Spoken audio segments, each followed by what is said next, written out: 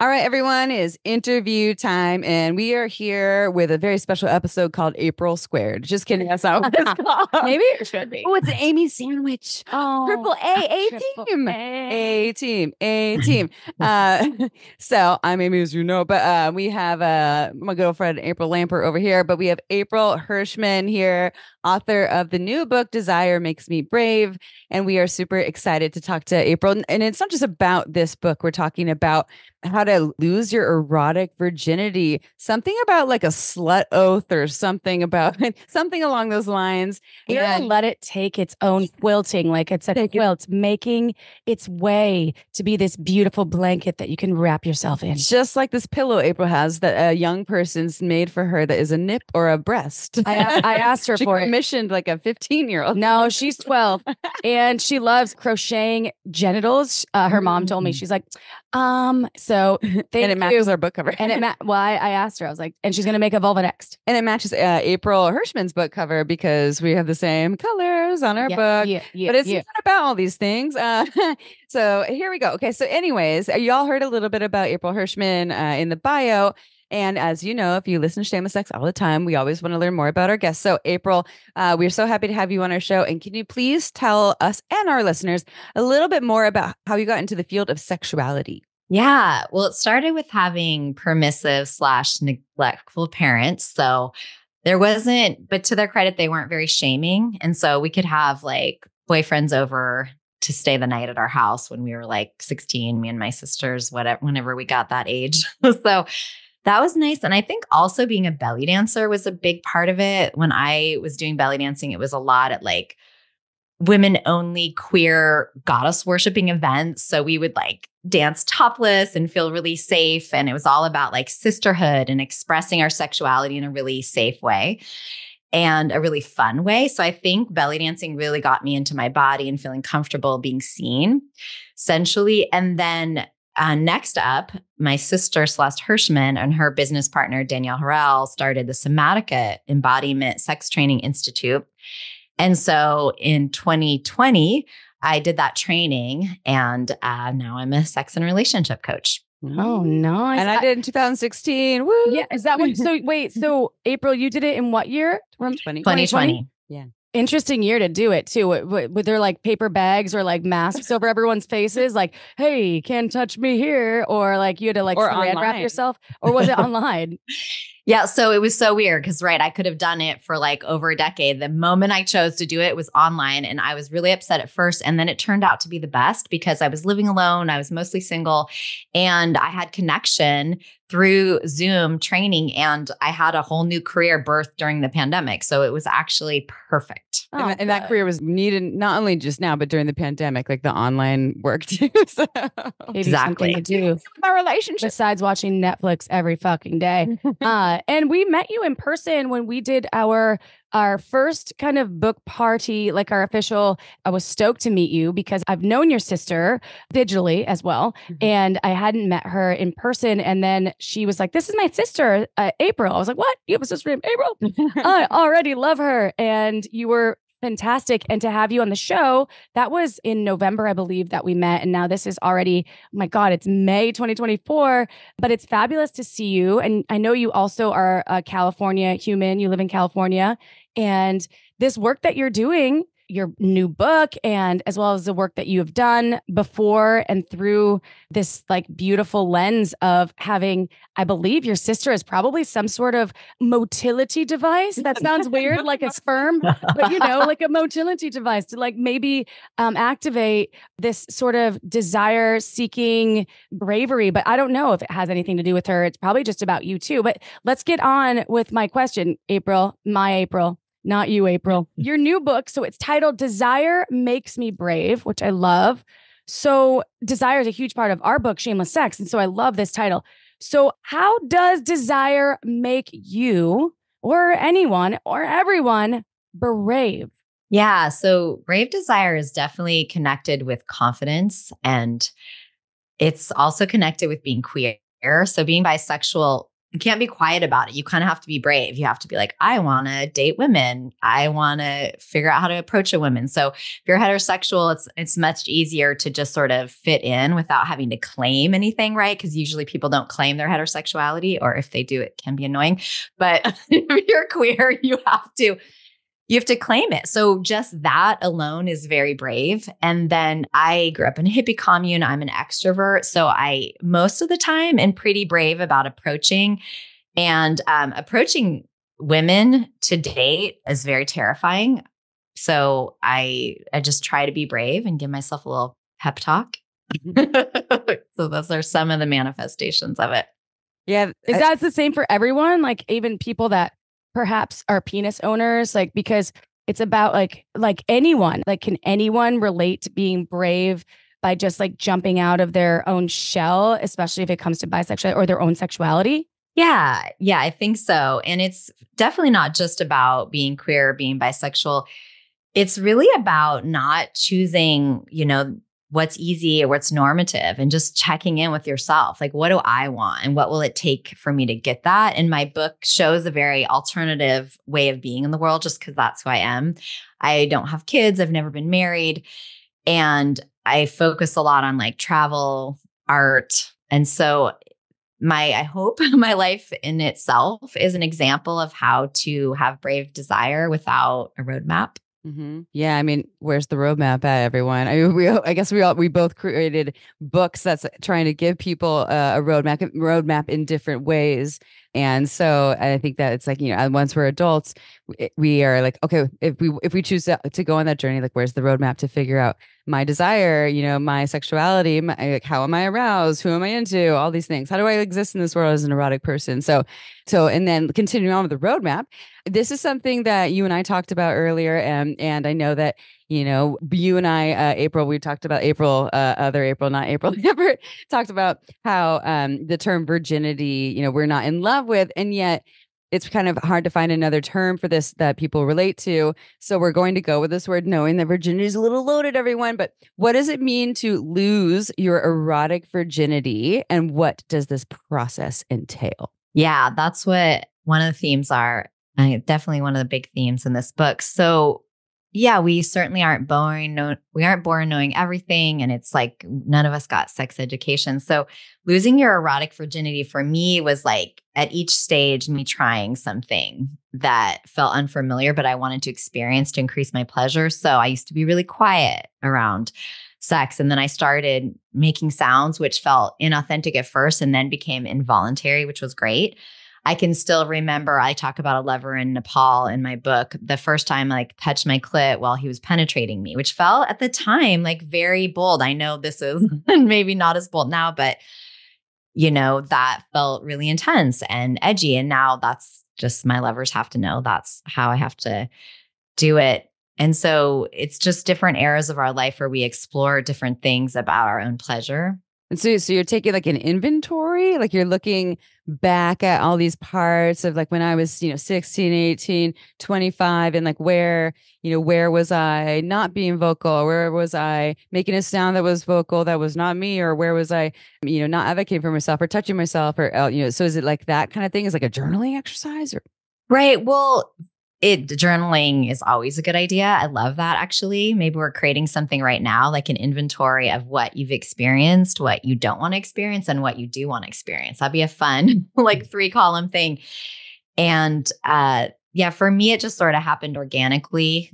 I didn't write about as much, but I definitely talk about it in the book, like mm-hmm. which which levels. And there's always more, right? We're always short, shedding more erotic virginity. Mm. Yeah. I think maybe virginity, because virginity has such this biblical essence to it, right? So sometimes it can be, uh, it's not triggering for me. I don't give a fuck like about a lot of things unless people are like um, saying something that's really vile and and hateful. But like virginity does have this biblical sense, and a lot of sex educators like, oh, we shouldn't say lose your virginity, which I agree with. It is having sex for the first time. Um, so maybe it's like this first time, this essence of something that is created in your sexuality for the first time, where where you've had this experience. And I remember the first time that I was able to and it was not that long ago, to be honest with you, where I was able to orgasm from oral alone without anything Right. else. A oral, an oral tongue, an oral mouth on my and I was like, I just lost my I just popped my oral cherry because that Yeah. has not happened to me before and so it's sort of this this like what is your essence of of the first time you experience this thing with your sexuality like opening, that right? opens yeah that Yeah, opens opening. pandora's box to what is more Mm. so and then we keep talking about maps but what i'm thinking about because you talked about the map and we talk about maps in our book and i'm like damn it i sh- we should have said something else in the book because there's some people that are probably listening right now that could be in like their 20s that aren't millennials that are like the fuck is a map? Like that's like something you plug into google and it tells you where to go. So it's like think of it as a gps it's Yeah. siri. Yo siri how the fuck do you get your sexuality open. So these it's about reading or having someone read to you. So i was thinking about that. I mean i don't want to say right but i'm like what do y'all think about that? Is it I a like that. Gps And then in 20 years, it won't be called GPS. It'll be something else. It'll be called Super- mr roboto Yeah. map, yeah, your erotic, yeah, your erotic map to your GPS to your Mr. Your erotic Yeah. robot. Yeah. Your erotic yeah, erotic blueprint. Yeah. to some getting you to people use- space to saturn and sitting on the sun Ooh, damn that might burn though that's a little lot bit. of S's. all right That's gonna All right. chafe. yeah. Yeah. Yeah, Definitely. it's We'll, gonna change. back to this, everyone. Okay, so I have a question there. Those were just like a little bit of of my uh, insightful uh, processes that I was going through as I was listening because I'm really appreciating though this journey, April, and thank you for sharing. And I'm excited to learn more about your book. But first, okay, what happens? That's not a commercial time, everyone. Okay, so don't don't start fast fucking forwarding like you usually do. So, what happens next in terms of this your erotic virginity, your erotic openness, your erotic essence of like what's happening with your sexuality when you experience this one thing for the first time or these many things for the first time? After someone has reviewed the different eras of their own erotic self, so I know that you've talked about it in a few different ways, but what if they haven't been able to advocate for themselves or been able to discover themselves? What the fuck do they do next? Yeah. And when we're in higher arousal, it's harder to advocate for ourselves if we've been, you know, socialized to be pleasers, which most um, people socialize as women have. And to be honest, it still happens. Like I recently had sex where I didn't advocate for myself a lot. So to just de- de-shamify it, right? Yeah. Boundaries are an imperfect science. So yeah, but we really want our partner or partners to be advocating for ourselves too. Like that could just be a conversation before you have sex. Like, I want to advocate for myself, but I want you to advocate for me too. And I was also telling a partner, like, it's a whole thing to have like a vulva and a vagina. And, you know, we can get UTIs and yeast infections easier. And it's like, I want, if, if that happens, it happened to us. And I want you to go to the drugstore with me or whatever, you know, like, Mhm. So, how can we feel more collaborative and like we're taking care of each other's physical boundaries, health boundaries, or health safety together? Mhm. Love that. yeah. You can test like the pH of your entire body by your vagina sometimes. Those vaginas are powerful. It, they are. yeah, they're powerful. Yeah. Yeah. Anything goes in there and they're just like killing germs off of it immediately. It's Yeah. so Yeah. powerful. Yeah. It's like a barometer. You're like, wait, Yeah. Is there going to be an earthquake inside my body? Oh no, I'm going to get sick Oh my God, my that's- vagina's unhappy. That's like the next science that the, the that the vaginas are the ones that we're able to tell us when the earthquakes are I'm coming. like, I can tell when it's going to rain. I'm Yeah. just like, That mm, makes sense. no. Here, it's like it's like uh, testing the the direction of the wind with your finger, and just like put her sand. finger as if it was going in her pussy. By the way, Yeah. uh, so I'm curious with, with what you said. Um, in this this ties with that. Um, with the um, you know, speaking up for yourself and ple- people pleasing. How has being a bisexual woman made it hard for you to get out of the habit of people pleasing and focus and and, and actually focusing on what you want? Like, and how does this relate to bisexuality? Yeah, it's really hard to not be a people pleaser as a bisexual because we don't fit into a box. We don't fit into a completely straight bar, or we don't fit into a queer bar. There's no bisexual bars, you know? So I have found myself, and it happens even now, wanting to edit myself for my audience. Like, uh, you know, if I'm talking to straight people or people I perceive to be conventional, and then it feels hard to say, and then my ex girlfriend, you know, and then when I'm a really queer space or it's during Pride, I can feel this desire to not say, oh, my boyfriend or my ex boyfriend. So it's really hard to navigate that. And in the book, I talk about uh, me and my sister used to host the bisexual film night at Frameline Film Festival. And this sort of kind of older, stooped, not super attractive gay man, you know, was asking me what I was doing with the festival. And I was like, oh, I'm doing a bisexual night. And he's like, oh, well, I'm not bisexual. I have a husband. And he physically backed away from me. Like bisexuality was some disease he could catch just by talking to me. And that there was any world in which I was hitting on him. And so it's just an example of how, right, this is a queer event. This is a queer man who's shaming me about my bisexuality.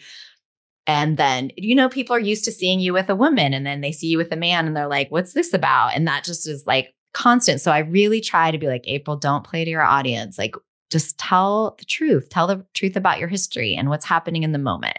That's so dope. Okay, so I don't have any issues with like the long like LGBTQIA plus um, and acronym, but like I have advocated because when I was doing my just getting my certification, and I feel like I had a certification, but I started really diving deep into the the sexuality, like getting my sex ed certification, and there are a lot of folks that advocate for this term like gender and relationship diversity rather than LGBTQIA hmm. plus because it simplifies everything where you don't have to feel like I'm bisexual. I'm labeling myself as asexual. I'm labeling myself as gay. I'm labeling myself as lesbian. I'm li- because it's so fluid. How can we and then when you meet some folks and and if you just say like we're I'm on this flag of this gender and relationship diversity flag instead of this long 12 letter going process, it also makes like the normies out there more comfortable thinking mm-hmm. like, oh, I represent and I advocate for gender and relationship diversity, not just the flag of LGBTQIA plus, which I respect all the folks that are under all those flags, but it just kind of solidifies like what I thought in the back of my brain when I first learned that. And it's a bummer that it's like, oh, you're bisexual. So you're automatically getting labeled as this thing mm-hmm. that you're you're taking on all of these other people's labels about what bisexuality means. And maybe that is something that is like um, liberating for folks to be like, well, I'm, I'm, uh, I identify as a pansexual, and that's like liberating for them, or, or demisexual, and that's liberating for them. That's great, but like it's there's like so many ways that folks could get the message across without having to feel like they have to identify as something specific in that like in that whole like non-binary world of sexuality where it's just like it's vast. It seems a lot like the neuro, we're using neurodiversity now instead of like you know like oh you know you must be ADD when like I don't even know or if you are or not. Or, yeah, yeah, or they they're like yeah it's yeah. it's neurodivergent. But then some people within that might be like you know I'm neurodivergent but I am you know ADHD and and I and I own that as who I am and so this I is think, such a juicy yeah. topic because I love that term you know gender and sexual diversity because it puts us all together together where it still feels like with the flag and the alphabet soup, we're still being marginalized mm-hmm. and straight people or heteronormative people are being centralized. So I think that is a really great way to look at it. I mean, language is really evolving right now. And I loved in high school when I would just be tipsy and I would lean over and kiss my women friends and we didn't interrogate each other. Well, what does this mean? Mm. Are you a lesbian? Well, what does this mean? Are you bisexual? It just felt like an expression of free love. It felt as like an expression of feminism. Like, of course, I'm going to turn over and kiss this woman. And it just felt, it was so beautiful to be in that time where it wasn't named. Mm. And the thing about claiming bisexual is, you know, bisexual you was very recently, you know, pathologized. And so when we claim it and name it, we have a history, we have a flag, we have all those people that fought for it and they deserve to be named. And so I really want to live in a both and world. I want to move more towards what you're saying about the the gender and sexual diversity and putting us all in the same pool and it's ever shifting like water. And also how do we hold the stories of, you know, our our trans folks and our queer folks and lesbians and gays and et cetera that did that work and without a name they couldn't have done it like that's the thing about they used to call gay or lesbian the love that had no name. And I talk about bisexual as the love that has no place. Again, we don't have a bar.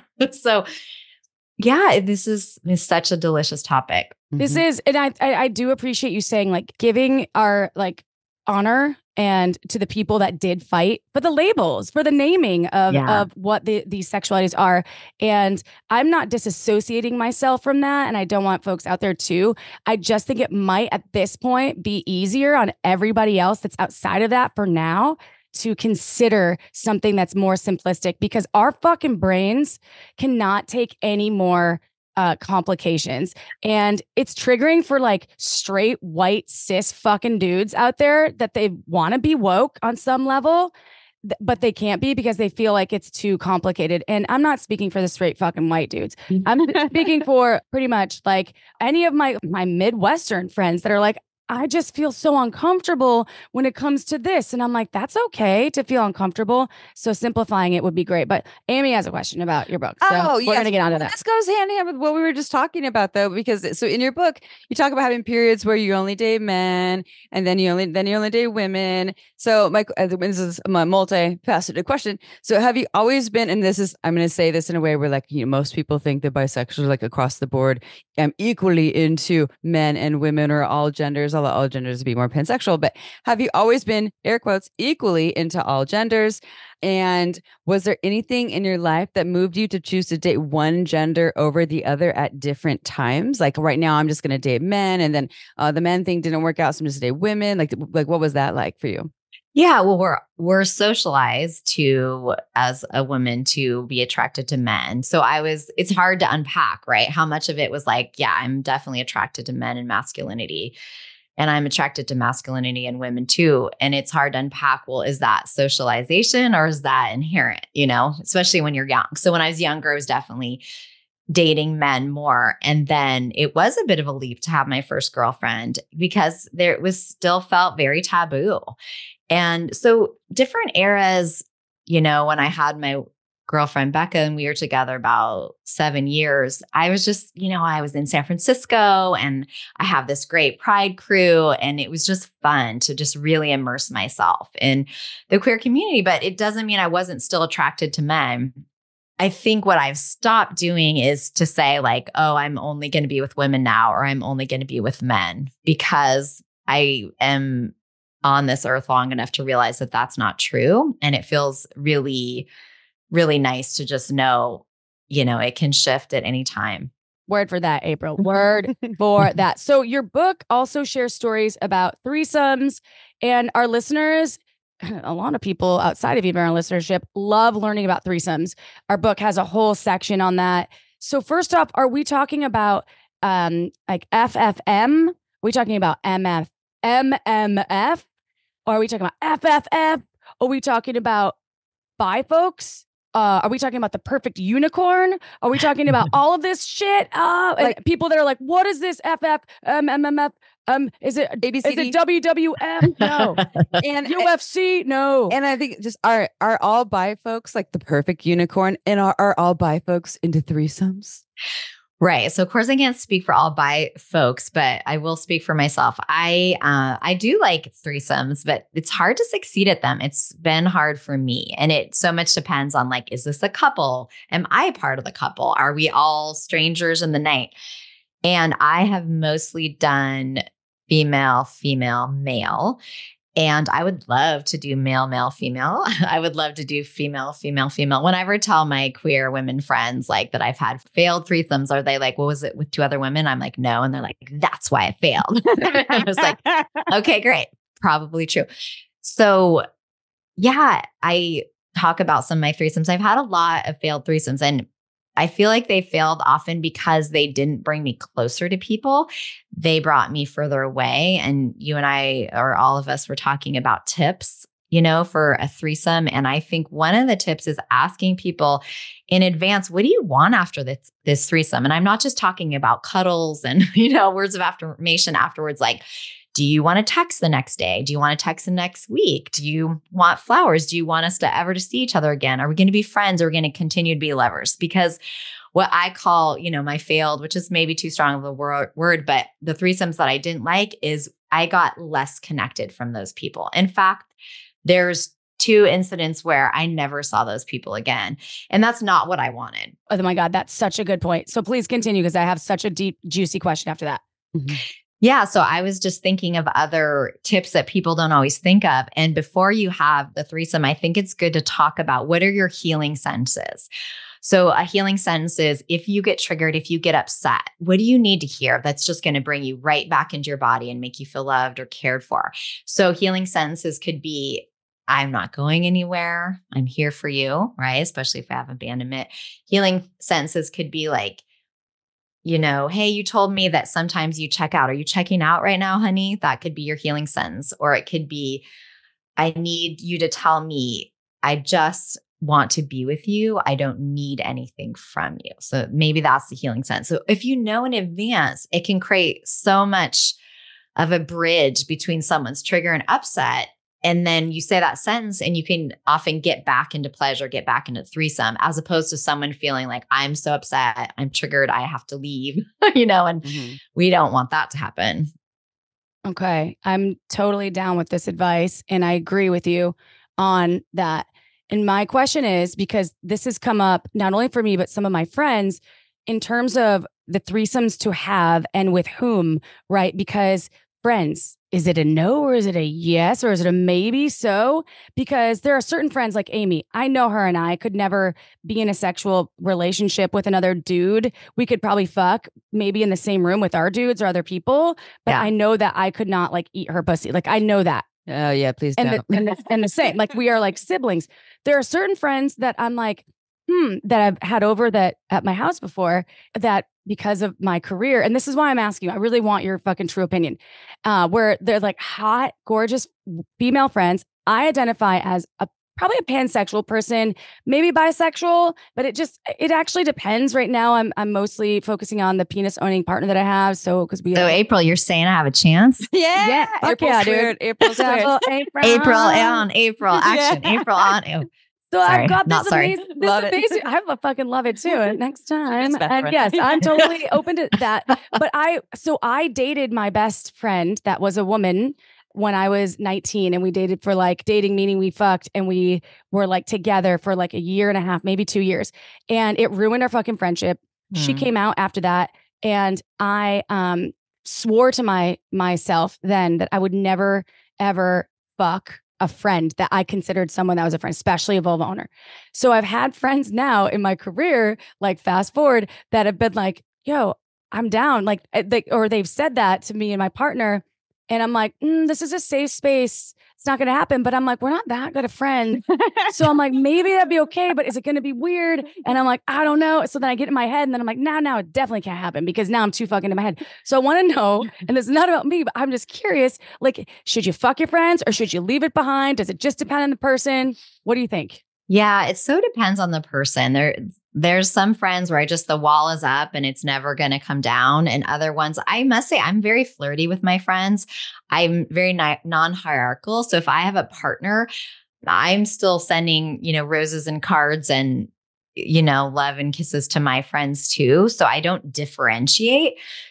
But having sex is crossing a line and I think like everything, it's like a good conversation with yourself, a good conversation with them. Like, what will this mean? I've had a friend hit on me when she was really drunk and she really wanted to kiss me and I didn't really want to. I mean, this was when I was in my 20s and I just kissed her because I didn't want her to feel rejected, you know? Mm-hmm. So I mm. don't want to do that anymore. I also want us to live in a world where we could just be playful with our friends. Like for me, I must say, if things go below the waist, it has a lot more gravity. Mm-hmm. Like, you know, if someone gets near my pussy, it's like this invisible golden cord comes out of my pussy and wraps around them. And there's issues and connection and it's complicated. Mm-hmm. For me, if it doesn't go below the belly button and we just make out and touch chests or touch boobs, like that can be really fun and it doesn't the stakes aren't as high. And I actually am kind of curious for you both, like if you can relate to that or it's not so much about below the waist for both of you. Yeah, 100% below the waist. It's more deep for me. Actually, I just I just had an experience like 2 days ago with you know went on, went on a new date with with someone and you know we spent a lot of time talking and it was awesome and wonderful and we were both like wanting to hook up with each other but waiting for the other person to hit on and this is a, a man a penis owner waiting for the other person to like make a move and I can see why he didn't make a move because I'm like fuck the patriarchy now. So he's like wait for you to is there so and then anyways but they we got late you know like 11 p.m and then it was like okay well time to go and so i'm like do you want me to um you know walk you to your car and I'll, we can make out your car and he's like okay yeah and then and i was your like, car, on it, on his car. not by his car Okay. because we hadn't and and- but the, and i was like yeah so honestly i've been trying to figure out like are you into me i think you are because we've been talking for like seven hours and yeah, he's and and I but I can't figure out. And he was like, "Oh no, no, I'm into." it." I'm like, "Oh," he's like, I, "He's like, I just didn't want to be the creepy guy, so that's why I was waiting for you to initiate." And so uh, then I was said, to him, "I was like, oh, okay, I totally get it." It's not. There's nothing creepy about telling me like, "Hey, I'd like to kiss you. Can I kiss you?" And he's like, "Oh, okay. So hey, I'd like to kiss you. Can I kiss you?" And then we started making out. But then, like you know, and like it, it- there was you know hot and heavy making out. But at that point, I had to assess like if it goes below the belly button, I'm inve- to me at least, we need to invest some more time in that. Like Mm. it's Yeah. already 11 p.m. We've been hanging out since three. This opens up all kinds of other portals and doors. So uh, that's when I like the what you were talking about. That's when I was like, I think like let's just keep it above, you know, above the pants, um, and then bookmark that here. and then in the future, if we hang out again, then maybe the pants come off. And he was like. All good. Um, totally, un- uh, uh, totally got it. Like, did I want to fuck him? Yes, but I knew like there was a lot more to it if I did. I have the stakes are higher. Like if we go below the pants, I definitely want a call the next day, or I want connection, or I want texting. And then our totally socialized brain, the female brain says, you should want to marry me. You Oh, touch my pussy, Yeah. which I get that is completely irrational, but I didn't make these rules. They came to me when I was too young. And so I just know that about myself. So it's very rare that I go below the belt on a first date. That's just a way, too, you know, yeah. because then if they disappear, I'm upset. Like Mm, if if you're going to ghost, then I just I don't like it.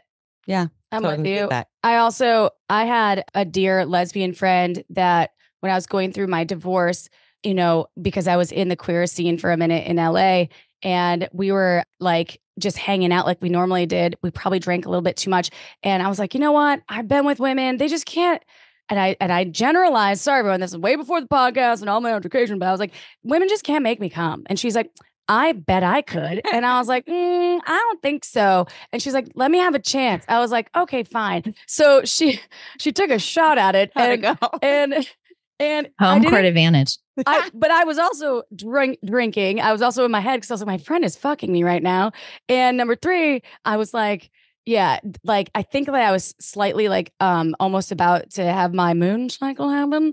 And so anyway, what happened was I didn't orgasm and we're still homies now. I love her so much. And we laugh about that shit because there was like no like turn on or making out It was more like her trying. It was like it was almost like a bet. It's like experimental. Yeah, it was Yeah. like experimental. Yeah. But that didn't change our friendship. And so that went outside of my typical box. So that's why I was wondering about y'all and like um Sounds like it went into your box. yeah, it totally Ooh. did. Yeah, Ooh. and I feel like with Amy, Amy, you've been good about hooking up with dude friends because you don't really hook up with female friends that you have, but like dude friends you've like or stayed friends with or had like sexual experiences. And I feel like that's easier for me than than women friends. a lot of what we've been talking about the threesome stuff, I'm like, a lot of this just applies to like one-on-one sex, right? Like Yeah. what you were saying earlier, April, about your your tips and advice for threesomes. And it was like, the, well, the same would apply also. I know we're talking about threesomes, but just anyone that you're you're hooking up with, you know, and and so I think, and maybe you can let me know what you think about this, April.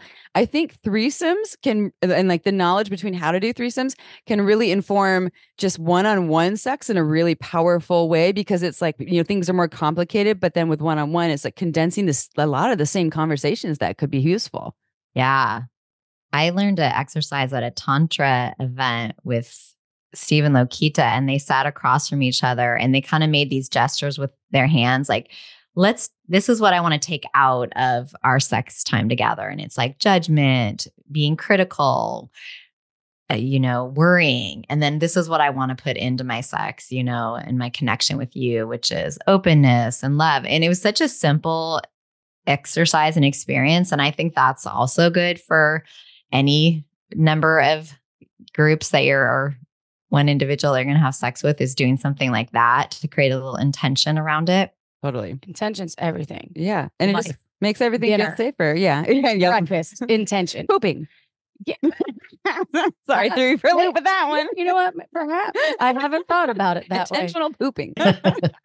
okay so miss april we have to ask you there's this this thing that is called the slut pledge Mm. that you have talked about so we have to ask what is the slut pledge Yeah, I was hanging out with my sister, Celeste Hirschman, and I was just talking about being a slut. And she's like, just claim that, raise your hand and say, I am a slut. So I did it. We were all doing it. I am a slut. That's i'm it. a slut too I'm a big old slut. Yep. That's the slut pledge. And so instead of worrying if people are going to judge us or call us that, we're just claiming it. Mm. And so that's the slut pledge. So for all sluts, no one needs to be shamed. No one needs to be stuck in the scarlet letter. And I also want us to come up with more words, especially for women, on what is a sexually empowered woman. But like, I would love to have one word. I can only think of words too, like sexually adventurous, sexually empowered. So get back to me, or if you think of any now, like just write. If if we can't name it, we can't claim it. Yeah, to our listeners, if you have any ideas, shoot us an email. Uh, what We're- about buttery sluttery No, it's two words. that's not it's connected but, but it's buttery sluttery. We still got sluttery in there, which is Sluttery, fine. But buttery Yeah, I'm trying to think of words that just. So, this is another thing that I would love for us to do. So, what we've done in our culture in any group is marginalized is we've reclaimed the slur, right? We've reclaimed queer, we've reclaimed slut, we've reclaimed dyke, everything, right? Which is great. But think about it. Then we're never naming ourselves and we're starting with a word that was fraught from the beginning Mhm. right? We've made it beautiful. You know, that probably the N word is the most complicated one, you know, that anyone could, you know, deal with. But all of it is like, that wasn't what African American people chose. They weren't like, let's work with this word. No, this is always what the oppressor puts on us. So, it's those, I'm again, I'm both and. We're not going to get rid of all of these slurs that we've reclaimed. But what if we had words for ourselves. What would we call ourselves? Where is that conference where we're saying, what do we want to call sluts? What do we want to call dykes? What do we want to call queers?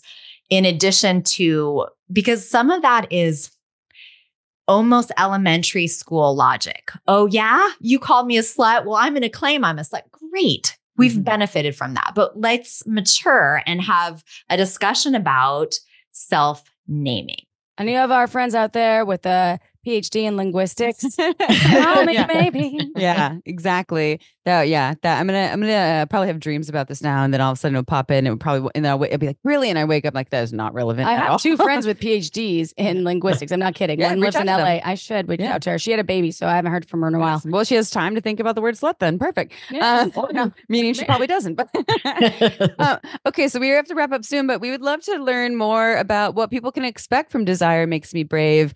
And you also have another book all about breakups. Can you tell us a little bit more about that one as well? Yeah, well, I'll start with my newest baby, Desire Makes Me Brave, because it came out in March. So, what I think is unique about it is the way that I break the fourth wall and talk directly to the reader. And that helped me not get overwhelmed by having a arc and a theme. It just made me be like, this is who I am. And so that's something that's fun and unique. The other thing, which I've never seen in a book, and maybe it exists and I don't know about it, is I actually put what my editors have said throughout the book. Like, April, you know, what are your truths? You should explore them. And I put that like at the very end of the book, which mm-hmm. doesn't make any sense, you know. So it's been really fun to mess with the literary canon, the literary traditions, and just like throw my editor's comment in there. And often I'm like arguing with them. Like they told me to do this thing and I couldn't do it, but I published my book anyway. So that's been fun to get feedback about that.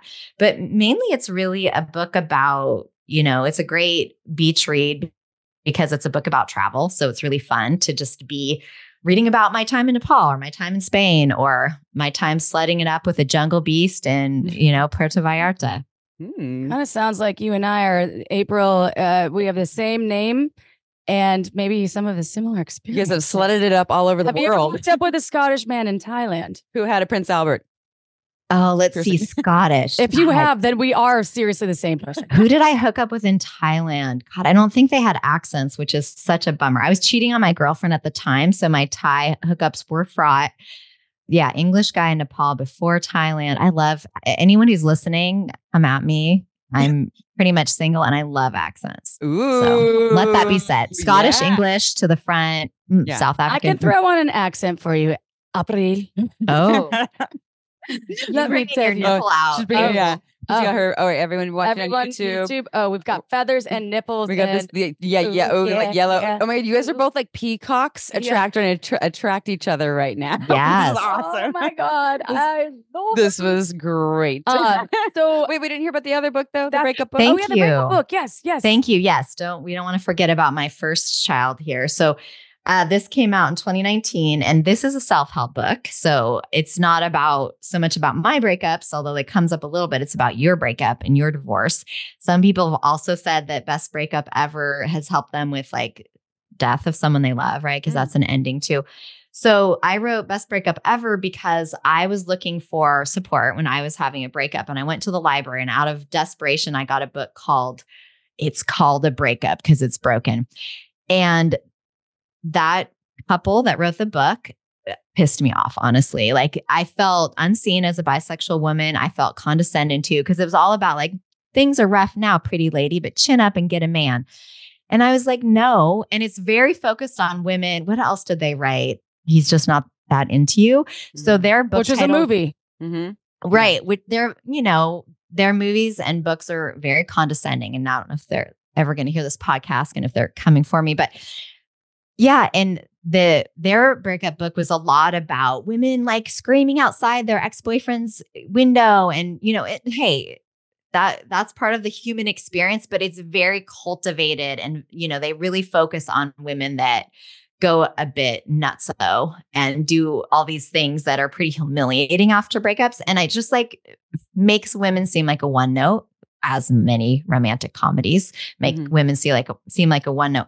So my book got created so that it'd be place for poly and queer and people that have different relationship styles to feel heard. And it's really different. It has recipes and it has silly advice and it has a lot of humor because breakup books in themselves can be kind of sad. Like I I love Pema Chödrön. I'm a big fan. And there was times where her book, When Things Fall Which- Apart, Yeah, Yeah. I read that right after my divorce Yeah. started. Yeah. and it worked for me. And then another time I tried to open it up and I'm like, this is so depressing that it's making things worse. You know, so Mhm. you have to find the special sauce for you in a breakup and divorce. But I think giving someone this book, and I give away a lot of them, you know, when they're going through a breakup or divorce is a really nice thing to do. Mhm. And that's the, so both of your books, I believe, um, are not they're not for uh, just vulva owners. They're for anybody that is experiencing either a breakup and or someone that wants to maybe explore their bisexuality uh, and learn more about kind of ways to navigate that. Is am I am I correct in saying this? Yeah, definitely both books are for everyone. Yeah, 100%. Okay, or anyone just wants a good beach read. Ooh, desire, de- desire makes me brave. I'm getting that for my next trip. I love that. Um, okay, so how can people find you? How can they buy your books? I think that they're everywhere, but um, and uh here because you also have a podcast. Give everyone all all the the juicy ways to find April. Yeah, I just uh, relaunched my memoir, love, and tarot podcast called Heart Centerfold. And I am April Hirschman on all the socials. So TikTok, IG, Facebook, LinkedIn, everything. So I'm pretty easy to find. Yeah.